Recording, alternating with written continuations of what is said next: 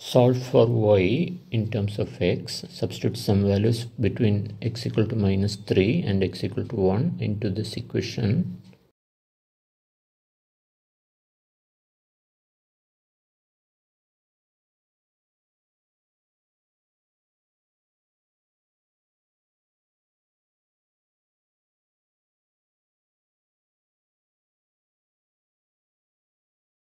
Plot these points and draw the graph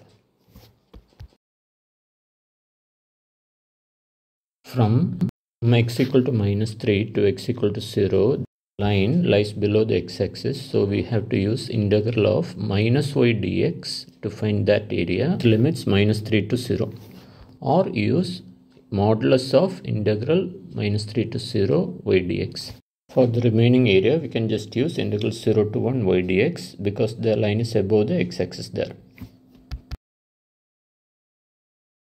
Add the two to get the total area. Replace y with 3x by 2 from the given equation.